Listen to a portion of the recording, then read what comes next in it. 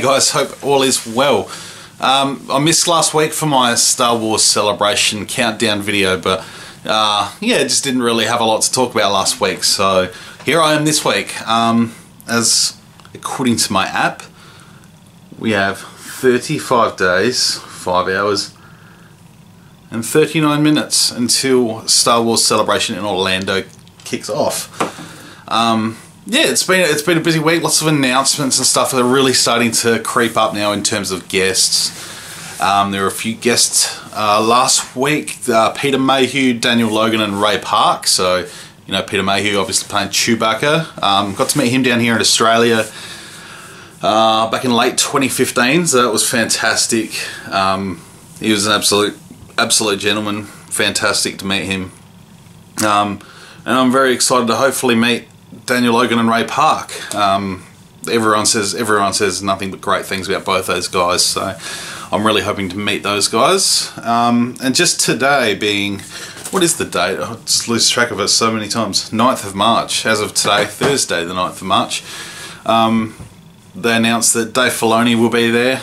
Um, he's going to be obviously conducting a Rebels panel. Um, probably outlining some basics for season four now that that's confirmed that's coming. I don't think it was ever in doubt. Um, there's not many episodes left, and I doubt they'll wrap up a season within with four four episodes to go or something. So, um, yeah. Who else did they announce? I I just I should just look at my phone that way. I don't sit here for ages trying to think. Um, Billy Dee Williams is going to be there. Obviously, Lando Calrissian. That's he'd probably be on the on the on the list. Um, Vanessa Marshall, who plays voices Hera on Rebels she's she'd be really cool to meet. Alan Tudyk, uh, K2SO, he'd be hilarious. And uh, Matthew Wood's going to be there as well. So, you know, Matthew Wood, the guy that does all the sound design and everything for all the films and series and stuff. So, it's pretty exciting. Um, had a finally got a bit of back and forth with one of the tattoo artists that I emailed, and it looks like I'll be getting tattooed on the Sunday. Um, that's really exciting. We're yet to forward forward her a deposit. Um, so we'll hopefully do that in the next day or two. Is shoot her a deposit so that way it's booked in and confirmed basically. So I can sort of, I guess I can talk talk about it now. Um, so on the inside of my left arm, I'm gonna get Han Solo's blaster, the DL44, and a little bit of a banner saying "Never tell me the odds." Um, and then I'll probably start working on a bit of a half sleeve there with other tattoos in the future. Um, probably do a do a good guy good guy Star Wars sleeve and maybe have like a space battle going on somewhere. I don't know yet. I haven't really thought of much else, but I really want that. So um, coming all the way to the US from Australia, I think it'd be awesome to take home a reminder, like a long-term reminder of my trip and the awesomeness that will be Star Wars Celebration. Um, so that's very exciting, and I've just sort of been picking up a few bits and pieces for the for the event and my holiday and stuff. Found this Darth Vader luggage tag the other day, or a couple of weeks ago now.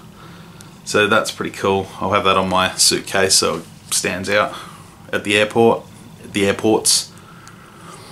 So that's pretty cool. Haven't added my name or anything yet, but yeah, it's got those little details. Um, speaking of autographs and stuff, I picked up one of these. It's just a little um,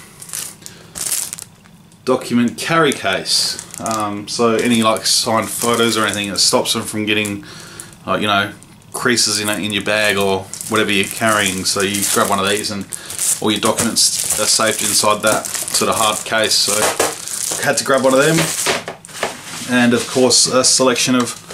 Oh, I just grabbed a selection of uh, Sharpie markers Got a gold, silver and a black, so you never know who you're going to bump into, and um, yeah, speaks for itself really, you never know who you're going to bump into, so that's pretty cool.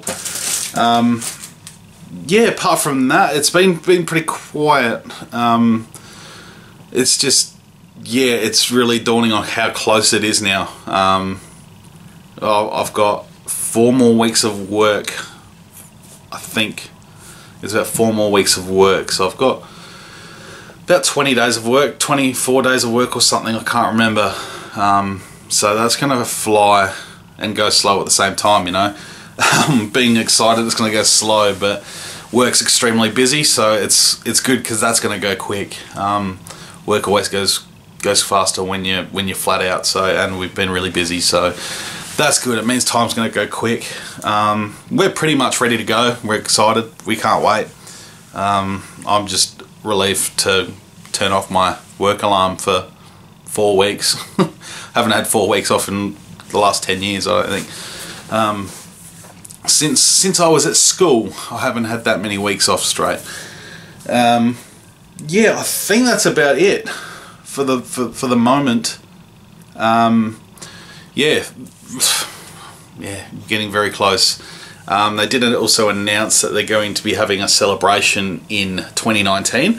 So it looks like they might be skipping out on 2018 at this stage. My guess is because the Han Solo movie is going to come out in the May, so it's probably hard to have it all winding up for that. But um, then again, episode 9's meant to come out in the May of 2019, so who knows what they're going to do at this stage. Um, and whether those films get pushed to December again, who knows? We're not sure yet.